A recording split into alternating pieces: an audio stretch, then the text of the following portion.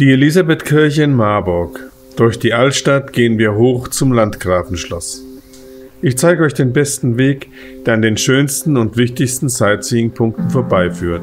Los geht's! Bevor es hinauf in die Oberstadt geht, machen wir einen kurzen Abstecher zur gegenüberliegenden St. Michaelskapelle, dem Michelchen, wie es liebevoll genannt wird. Auf dem kleinen Friedhof mit den historischen Grabsteinen schöpfen wir Kraft für den Aufstieg in die Oberstadt.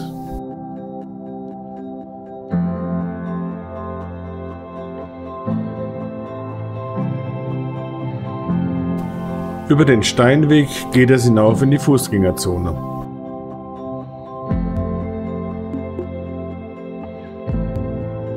An der Wasserscheide halten wir beim Dienstmann Christian an. Ältere erinnern sich noch an das Marburger Original. Vorbei an kleinen Läden geht es sanft bergab.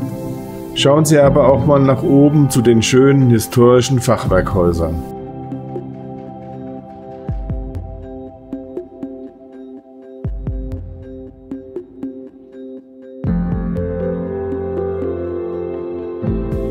Wir kommen zum Kilian, dem ältesten Bauwerk in Marburg. Gebaut als romanische Kirche war es später Zunfthaus, Backhaus, Stadtwaage und ist heute ein Wohnhaus. Nach nur wenigen Metern stehen wir an der Universitätskirche. Die ehemalige Klosterkirche der Dominikaner ist offen und kann besichtigt werden. An die Kirche schließt die alte Universität an. Über den schmalen und steilen Hirschberg, so heißt diese Gasse, kommen wir zum Marktplatz.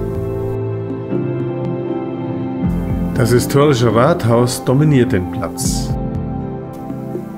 Nach einem Blick auf den Marktbrunnen mit der Reiterfigur des heiligen Georg gehen wir einige Meter durch die Barfüßer Straße vorbei an Läden und Cafés.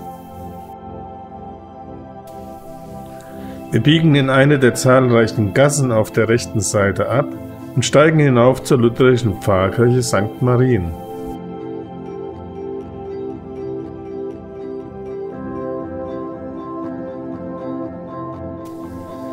Der Pfarrhof wird gerne als Balkon Marburgs bezeichnet.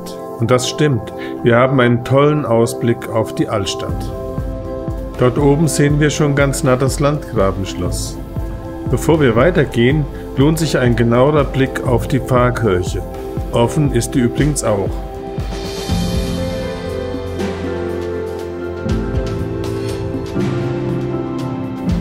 Und dann wird es steil. Die Treppen hinauf zum Schloss fordern eine gute Kondition oder ein paar Pausen.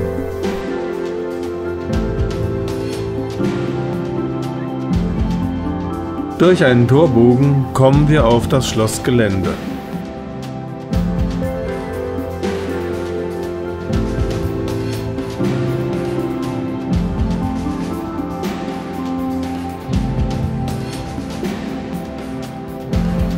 Noch ein paar steile Meter, dann stehen wir am Eingang des Landgrabenschlosses.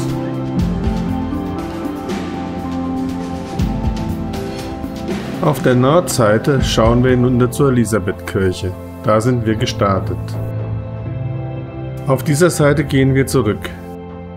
Vorbei am Hexenturm gehen wir durch ein Wohngebiet steil bergab und kommen schon bald wieder an der Elisabethkirche an.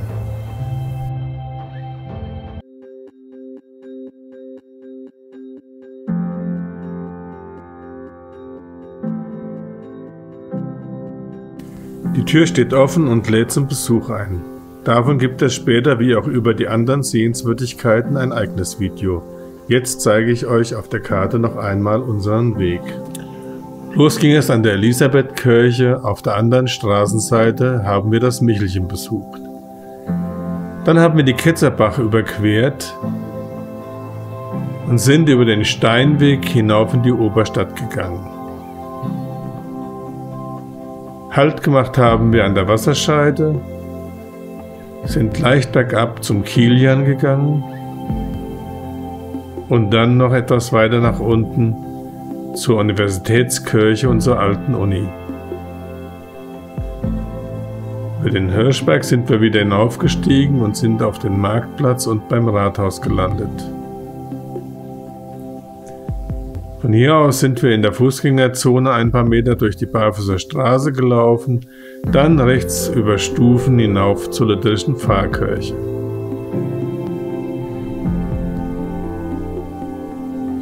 Über die steile Bickeltreppe sind wir in den Bereich des Schlosses hinaufgestiegen.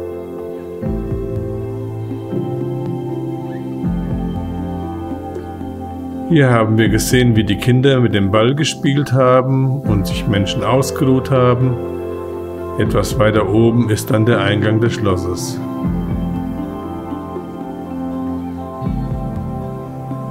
Auf der Nordseite sind wir an dem Hexenturm vorbeigegangen und dann hinuntergestiegen durch ein Wohngebiet, bis wir wieder bei der Elisabethkirche angekommen sind.